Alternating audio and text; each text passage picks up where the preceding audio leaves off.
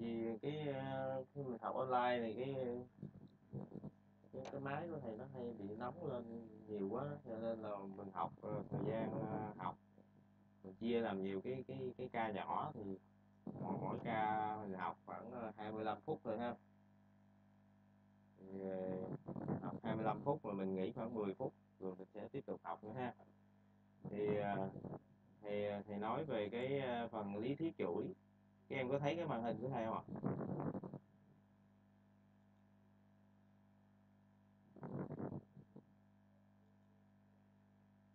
Có thấy cái màn hình thầy chia sẻ không?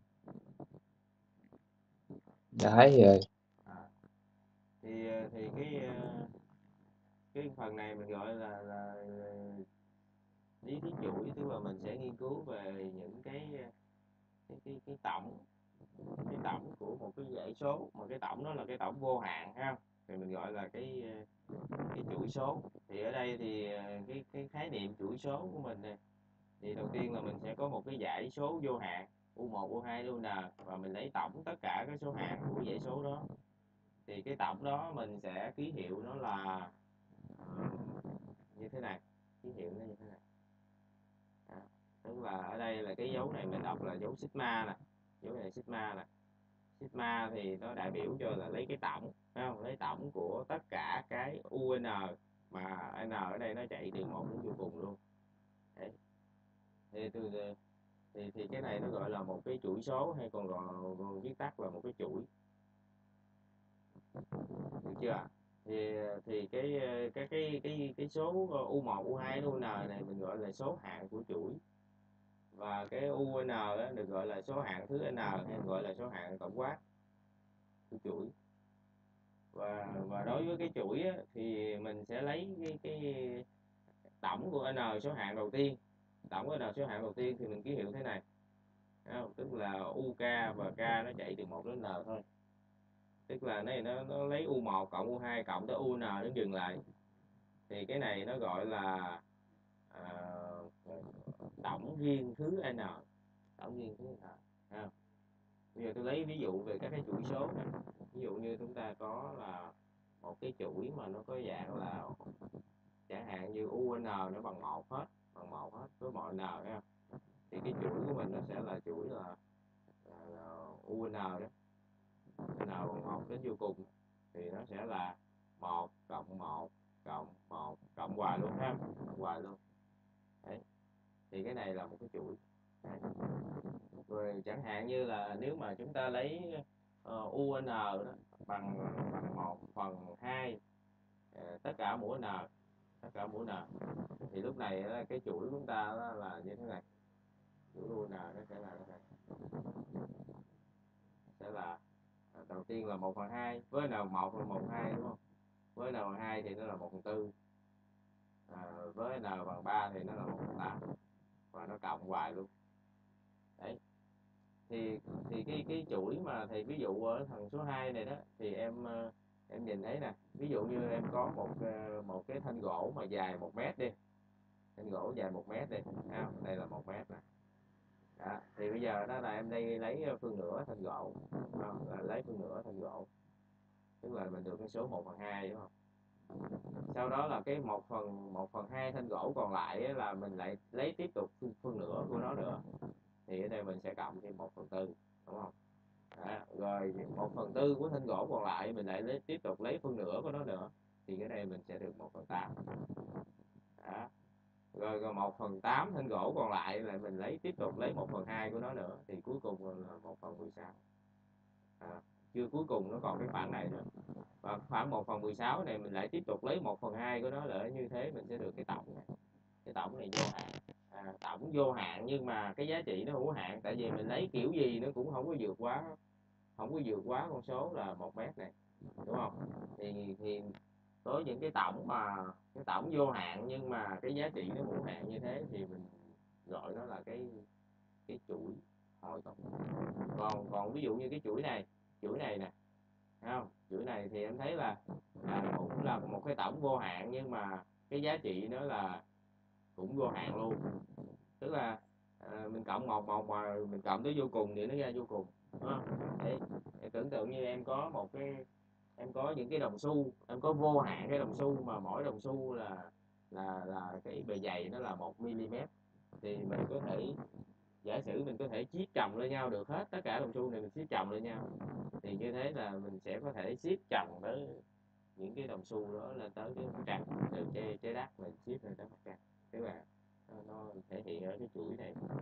Cái chuỗi mà là cái tổng vô hạn nhưng mà à, cái giá trị nó cũng vô hạn luôn. Còn cái chuỗi dưới đây thì em thấy là, là, là mặc dù nó cũng là một cái tổng vô hạn đúng không? À, mà nó tổng vô hạn nhưng mà cái cái tổng của vô hạn số hạn nhưng mà cái giá trị nó lại hữu hạn tức là nó cái này nó nhỏ hơn vô cùng. Còn cái này là nó bằng vô cùng. Thì ở đây mình gọi là cái cái tổng mà cái chuỗi mà nó có giá trị là vô cùng á. Hoặc là nó không xác định á, thì mình gọi nó là chuỗi phân kỳ còn ngược lại thì mình gọi nó là chuỗi hội tụ. Đấy thì bây giờ đó thì để khảo sát cái sự hội tụ của chuỗi á, thì mình sẽ à, có cái à, định nghĩa đó là tổng riêng thứ n. Không? tổng riêng thứ n.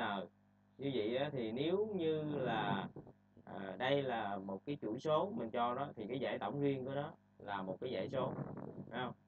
À, ví dụ như là là mình lấy cái cái thằng này đi cái chuỗi này đi thì mình sẽ có S1 á nó chính là 1 phần 2 còn S2 đó là mình sẽ cộng từ 1 phần à, 1 phần 2 đến đến 1 phần 4 đúng không? Thì chỗ này nó sẽ là 3 phần 4 còn S3 nó là gì? 3 đó là gì?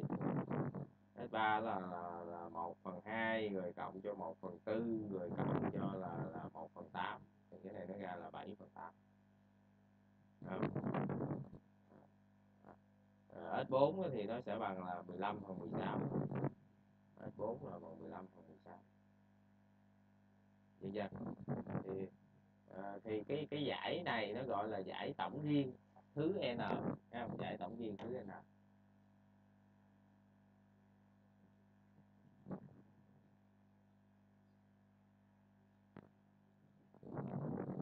Tổng riêng thứ N thì bây giờ đó là mình sẽ có cái định nghĩa, cái chuỗi ờ, hội tụ và phân kỳ.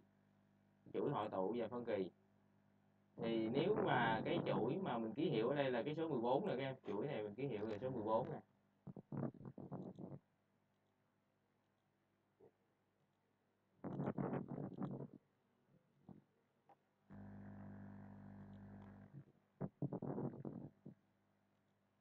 Em tôi xóa bớt em ghi đi để nấu cho nó về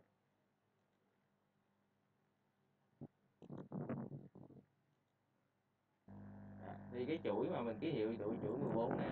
Thì thì lúc nãy mình có ví dụ là cái chuỗi mà cái tổng là vô hạn, phải không? Nhưng mà nó là giá trị hữu hạn. Thì nếu như cái giá trị nó hữu hạn thì mình gọi nó là cái chuỗi hội tụ. Còn nếu mà cái giá trị nó vô hạn hoặc là cái chuỗi nó nó không xác định thì thì mình gọi nó là chuỗi phân kỳ, nha. À. thì ở đây đó tôi lấy ví dụ như nó có một cái chuỗi như thế này. Thì cái số hạng đầu tiên đó đó là số 1 cái số hạng thứ hai cái đó lại là là trừ một. Rồi, rồi số hạng thứ ba đó là một. Không? rồi số hạng thứ tư uh, số hạng thứ tư của nó lại là là, là, là trừ một. Nó cộng lên cộng lên như thế này một cái một cộng cái một trừ. Thì cái này cái chuỗi này mình sẽ ký hiệu nó là trừ một mũ uh, trừ một mũ n n trừ một. Và n ở đây nó bằng một đến vô cùng. Đấy. Thì cái chuỗi này là có khi là cái giá trị nó bằng một có khi giá trị nó bằng không phải không? Ví dụ như là, là n bằng một thì nó bằng một n bằng hai thì nó lại bằng không. N bằng ba nó bằng một. Vậy thì có khi nó là số số 1 có khi nó là số 0 có khi số 1 có khi số 0 hoài. Vậy thì cái chuỗi này nó cũng không hoàn tụ chuỗi này cũng không hoàn tụ còn ờ, còn một cái chuỗi nữa là nhờ thế này à, một phần một cộng một phần hai rồi cộng một phần ba rồi cộng một phần bốn phải không? Tức là cái cái cái, cái mẫu của nó cái mẫu của nó là là càng ngày càng lớn. Nhưng mà cái tử của nó là bằng một thôi. Thì cái chuỗi này là mình sẽ viết dưới dạng là sigma của một phần n và n chạy từ 1 đến vô cùng thì cái chuỗi này á cái chuỗi này á là cái giá trị nó cũng bằng vô cùng luôn. Giá trị nó cũng bằng vô cùng luôn và cái chuỗi này người ta gọi là cái chuỗi điều hòa. Chuỗi này là chuỗi điều hòa.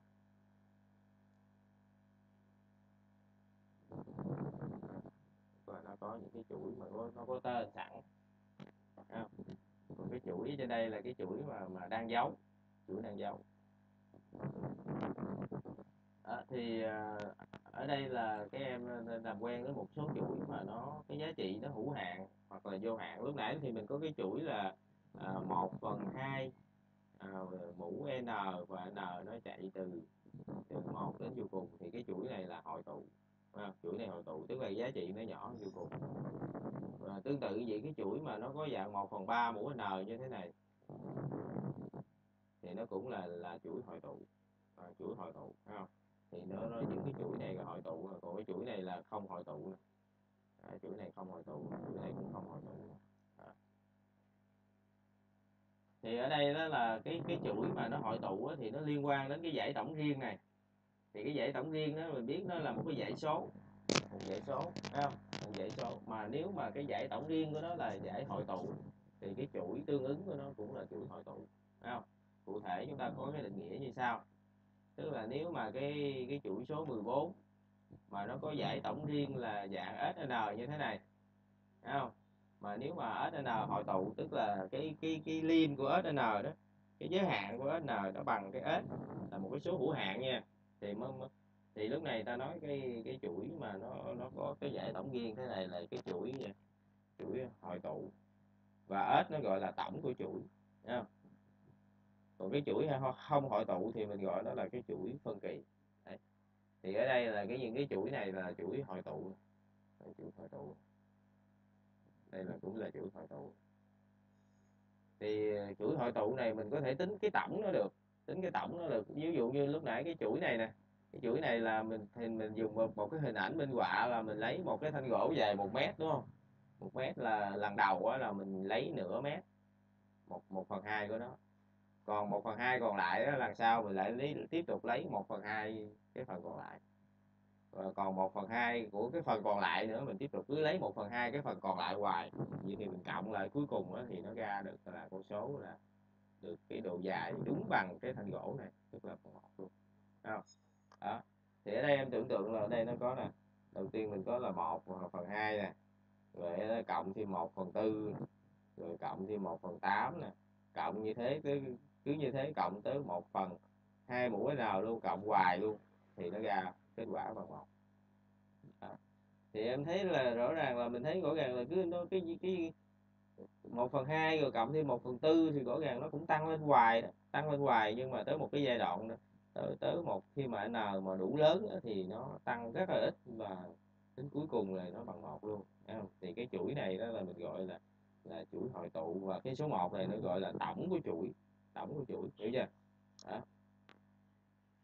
thế thì bây giờ thầy hỏi các em là ví dụ như mình có cái số mà 1 phần 3 nè rồi cộng cho 1 phần 9 nè rồi cộng cho 1 phần 27 nè rồi cộng hoài như vậy thì cái cái thằng này cái giá trị nó bằng bao nhiêu? À, có ai có câu trả lời không?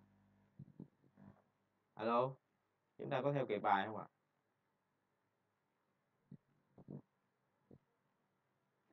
Các bạn ơi chúng ta có theo kỳ bài không? Có nghe tiếng nói không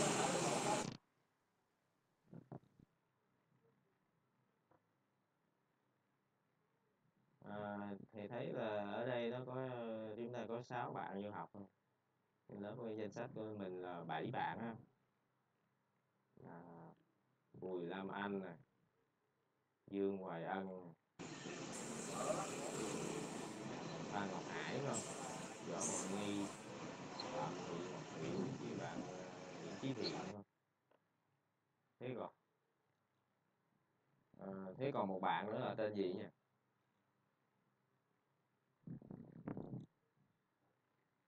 À, chúng ta có nghe bài giảng của thầy không ạ? À? alo có thầy ơi.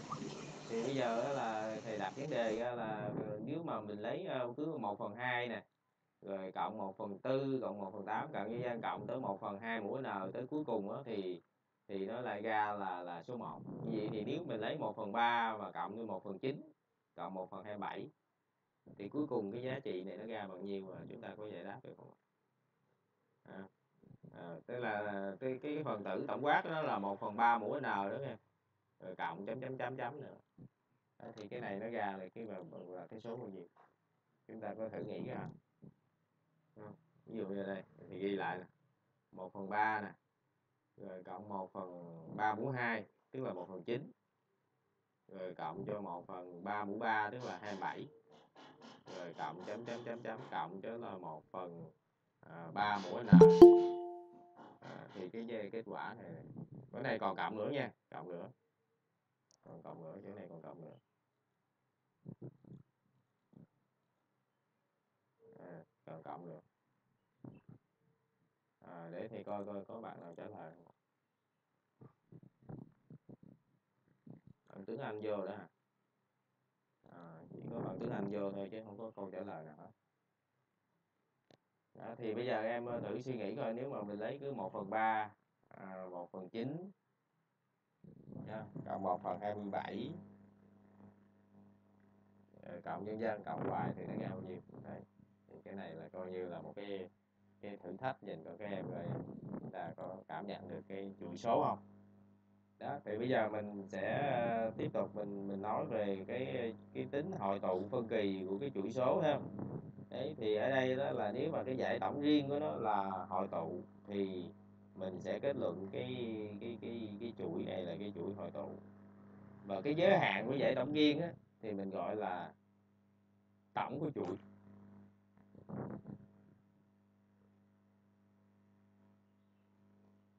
Đây đó là mình ờ, để tôi xem coi. Ở đây thì mình ờ, mình sẽ xét cái chuỗi số dương thôi chuỗi số dương thôi tức là cái chuỗi dạng thế này. Và mỗi cái số hạng đó là là cái số dương nha thì nếu mà chương trình học mà, mà, mà kỹ lưỡng hơn á, thì mình sẽ học cái chuỗi có số hạng tổng quát luôn. À, có chuỗi số dương chuỗi số âm rồi chuỗi đang dấu luôn. Đấy nhưng mà ở đây thì mình chỉ khảo sát cái chuỗi số dương thôi tức là mỗi số hạng của nó là cái cái số thực dương thấy không? Mỗi số hạng đó là số thực dương. Thì trong trường hợp mà à, trong trường hợp mà cái cái cái cái số hạng tổng quát của nó là cái số âm á thì mình gọi nó là chuỗi số âm. À, và ở đây á, thì mình chỉ khảo sát là cái chuỗi số dương thôi ha. Đấy thì chúng ta đi vào cái phần số 2 đó là cái dấu hiệu hội tụ của chuỗi số dương. Thì đối với cái bài này đó thì chúng ta à, chỉ xem coi là cái chuỗi như thế nào chuỗi số dương như thế nào thì nó hội tụ thôi. Chứ chúng ta không có đặt vấn đề là tìm tổng của chuỗi ra làm cái gì nha. Chúng ta chỉ xét xem là nó có hội tụ không. Hội tụ hay là nó phân kỳ thôi. Còn à, cái vấn đề tìm triệu tổng của chuỗi thì người ta không yêu cầu. Đấy, thì bây giờ đó là mình sẽ có cái dấu hiệu hội tụ của vũ số dương là dấu hiệu so sánh một. Thì cái dấu hiệu so sánh một này nó cho chúng ta biết điều gì? Đó, thì em thấy là giả sử như mình có được hai cái chuỗi số dương cái chuỗi mà số hạng tổng quát nó là UN và cái chuỗi là số hạng tổng quát nó là VN đấy thì em thấy đây là là hai cái chuỗi mình tạm gọi là chuỗi U và chuỗi V Thấy không? Cho nó, nó, nó dễ dễ ờ, ờ, dễ phân biệt ờ, thì mình gọi tắt là chuỗi chuỗi này gọi là chuỗi U nè. Thấy không? Cái này chuỗi là chuỗi V nè. Thì nếu như bắt đầu từ n0 nào đó trở đi bắt đầu từ n0 nào đó trở đi mỗi số hạng của chuỗi u nó đều nhỏ hơn số hạng của chuỗi v không? Đấy nếu bắt đầu từ cái số hạng à, à cái cái n không nào đó trở đi mà à, mỗi cái số hạng của chuỗi u nó đều nhỏ hơn số hạng của chuỗi v như thế này không? thì từ cái sự hội tụ của chuỗi v từ sự hội tụ của chuỗi v à, ví dụ như mình biết được cái chuỗi này hội tụ thì mình sẽ suy ra được cái chuỗi bên đây nó cũng hội tụ và ngược lại nếu như mình biết được Ờ, cái chuỗi u mà nó phân kỳ thì mình sẽ suy ra được cái chuỗi v phân kỳ. Đấy. Điều này ờ, có ý nghĩa như thế nào? Có ý nghĩa thế nào? Đó. tại vì ờ, ở đây á, là mỗi số hạng của u nó đều nhỏ hơn số hạng của v kể từ n không rồi đó trở đi. Như vậy thì nếu như mà cái chuỗi v mà hội tụ á, chủ v hội tụ có nghĩa là cái tổng của của cái cái v nào là cái tổng của nó là cái số hữu hạn. Không? tức là mình cộng từ v1 đến v nào nó còn nhỏ hơn vô cùng. Không? Nhưng nhưng mà ở đây là mỗi cái số hạng của chữ v nó đều nhỏ hơn của chữ u cho nên là là mình sẽ suy ra được là tổng của uh, các cái số hạng của chữ u nó cũng nhỏ hơn vô cùng Thấy không? đấy là cái điều thứ nhất. Ờ, điều thứ nhất. À, ngược lại là nếu như mà cái chuỗi u là phân kỳ tức là cái này nó bằng vô cùng luôn. À, thì suy ra là cái cái cái này nó cũng bằng vô cùng. Cái này nó bằng vô cùng. Luôn không? Thì để nói đơn giản như thế này. Nói đơn giản là như thế này cái. À, mình có một cái hai cái chuỗi số mà một cái chuỗi mình gọi là chuỗi bé một cái chuỗi mình gọi là chuỗi lớn. Chuỗi u này gọi là chuỗi bé chuỗi v là chuỗi lớn và cả hai chuỗi đều là dương hết. Cũng chưa dương hết thì có nghĩa là giải tổng riêng của của u nào là là dương và v nào là dương à, dương hết là hai số này hai số dương hết rồi. Hai số dương mà mình thấy là uh, có hai số dương u n v n nhưng mà nếu mà cái chuỗi v n hội tụ á, thì có nghĩa là cái số v n này nó nhỏ hơn vô cùng nhỏ hơn vô cùng à, cái chuỗi này nó nhỏ hơn vô cùng thì mình sẽ kết luận được cái chuỗi UN nó cũng nhỏ như cùng tức là nó hội tụ. Không? Đấy. À, có nghĩa là nếu mà cái chuỗi lớn mà nó hội tụ thì, thì cái chuỗi bé hơn nó cũng hội tụ. Không? còn cái chuỗi bé mà nó phân kỳ chuỗi bé mà phân kỳ thì suy ra cái chuỗi lớn nó cũng phân kỳ thì cái dấu hiệu này mình gọi là dấu hiệu so sánh một không? đấy thì bây giờ mình, ờ, mình lưu ý là để áp dụng cái dấu hiệu so sánh một á thì mình thường nó dùng các cái chuỗi sau đây để so sánh này không thì cái chuỗi mà dạng cấp số nhân á cấp số nhân mà à, cái cái cái công bội của nó nhỏ một cái con bội của nó nhỏ một con công bội nhỏ một hoặc là giá trị tuyệt đối của con bội nhỏ một. Thì cái cái cái chuỗi cấp số nhân này đó là nó gọi là cái chuỗi hội tụ. Còn khi mà cái con bội nó lớn hơn một phần một hoặc là nhỏ hơn bằng trừ một không? cái này thì ờ, khi mà giải cái bất này ra thì nó, nó xảy ra hai trường hợp đó là, là quy nó lớn hơn một bằng một hoặc là, à, quy nó nhỏ hơn bằng trừ một thì nếu cái điều này xảy ra thì cái chuỗi này cái chuỗi phân kỳ à. À. còn đối với cái chuỗi mà cái số hạng tổng quát tổng quát của nó nó có dạng là một phần n mũ s một phần n mũ s à. cái chuỗi mà nó có số hạng tổng quát là một phần n mũ s thì cái chuỗi này nó hội tụ khi à, s nó lớn hơn một và phân kỳ khi s nhỏ hơn một à, tôi lấy ví dụ chẳng hạn như đây đây cái chuỗi này à, một phần à, một phần n n chạy từ một đến vô cùng. Thì cái chuỗi này là cái chuỗi phân kỳ. Vì sao? Vì cái s của nó là bằng bao nhiêu? Bằng một. À, nó rơi vào cái ngưỡng này. Còn chẳng hạn như cái chuỗi mà uh, một phần n mũ hai à, thì cái chuỗi này nó gọi là chuỗi hồi tụ hội tụ à, lý do là s nó bằng 2 là lớn hơn 1 nó rơi vào cái khung này còn ở trên đây thì uh, chúng ta có thể lấy cái ví dụ là cái chuỗi này. À, ở phần số 1 này mình có thể lấy cái chuỗi này cái chuỗi là 1 phần 2 mũ n n bằng 1 đến vô cùng cái chuỗi này là lúc nãy là giống như cái thanh gỗ, mình cứ lấy 1 phần 2 1 phần 2 thanh gỗ qua đó.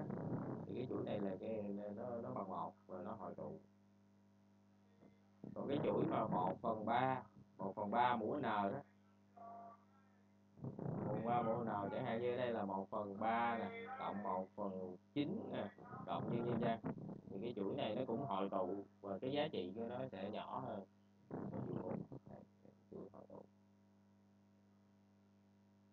Còn chẳng hạn như mình lấy cái chuỗi là ờ, hai mũi n n bằng một đến vô cùng. Thì cái này cái quy của nó bằng hai đúng không? Hai cái này bằng vô cùng luôn. Đây chuỗi này phân kỳ à, thì cái kết quả những cái kết quả này các em hãy ghi nhớ. À, tiếp theo là à, tôi tôi nói tiếp theo là cái ví dụ 4.1 và mình sẽ sử, dụng cái định lý dấu hiệu so sánh một này để mà mình chứng minh là cái chuỗi mà cho ở trong ví dụ 4.1 này là cái chuỗi hội tụ. À, thì để, để quan sát để dùng cái dấu hiệu so sánh thì em lưu ý như thế này nè. Đó, thì em thấy ở đây là nó có n rồi nhân cho n của hai. Bậc cao nhất của nó ở trong cái dấu dấu căn bậc hai này bậc cao nhất của n là mũ ba. Mũ ba mà mà nó lấy căn bậc hai nữa Thấy không? Đó, tức là n mà mũ ba mà mình lấy căn bậc hai nữa thì nó sẽ là n mũ ba bằng hai. Đấy như vậy thì cái chỗ này đó cái thằng này đó là à, nó chính là một phần n mũ ba phần hai. Vậy thì mình sẽ so sánh với cái chuỗi mà nó có số hạng tổng quát là là một phần n mũ ba phần hai. Được chưa? À, và mình sẽ dùng cái đánh giá như thế này tức là từ n từ 1 trở đi thì chúng ta có à, cái 1 chia cho căn bậc 2 của n nhân n vuông cộng 1 thì nó sẽ nhỏ hơn căn bậc 2 của à, n nhân n vuông và n nhân n vuông chính là n mũ 3 mà căn bậc 2 của n mũ 3 thì nó chính là gì nó chính là uh, n mũ 3 phần 2 thì thì hiển nhiên như thế này là không? Thì hiển nhiên bây giờ em em quan sát là bây giờ mình có cái n bình phương đúng không? N bình phương mà mình cộng thêm một vô. Thì cái này là là, là nó phải lớn hơn n bình phương không? Một cái là, là n bình phương thôi còn cái là mình cộng thêm một vô nữa. Thì nó phải lớn hơn rồi đúng không? Đó, cho nên ở đây nếu mà em nhân vô n nữa em nhân cho n nguyên cái cụm này em nhân cho n. Thì chỗ này em nhân cho n nữa không? thì rõ ràng cái thằng bên trái nó vẫn lớn hơn phần bên phải. Và hai cái số này đều là số dương hết rồi. Hai số dương hết rồi. Thì em nghịch đảo lại em nghịch đảo lại. Hay là em lấy căn bậc hai đi lấy căn bậc hai trước đi. Lấy căn bậc hai thì nó cũng cũng ờ, cái cái bắt đơn thức này nó giữ nguyên. Đúng chưa? Và nó lớn hơn căn bậc hai của uh, n của ba. Đó và mình lấy nghịch đảo lại thì lúc này nó sẽ là gì? Một bằng căn bậc 2 của à, n nhân cho n phương cộng một. Nghịch đảo là thì nó sẽ nhỏ hơn là không? À, căn bậc à, 2 của n của ba nghịch đảo lại bắt thứ đổi chiều. Đấy. thì để, để, để hình dung á, thì em thấy là ví dụ như mình mình có cái cái số 3 nè nó lớn hơn cái số 2 đúng không? Và em nghịch đảo lại thì 1 phần 3 nó nhỏ hơn 1 phần 2 không? Đúng chưa? Đó thì thì cái cái đánh giá này là dựa vào cái tính chất của ờ, cái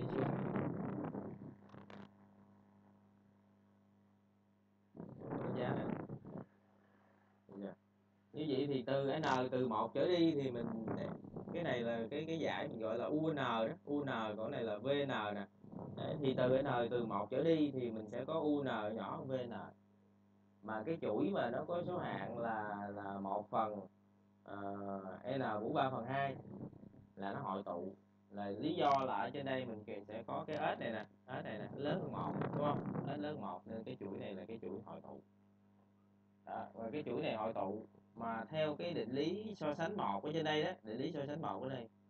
Vậy thì cái chuỗi mà, mà, mà v này nó hội tụ thì suy ra cái chuỗi u này hội tụ. Vậy thì mình kết luận là, là cái chuỗi ờ, số đã cho này nó hội tụ yeah. Dạ, thì chúng ta giải lao một tí là, là tiếp tục vô chúng ta học ờ, cái phần dấu hiệu so sánh hai. Các em theo kịp bài không ạ? À? kịp không? Còn nghi nè.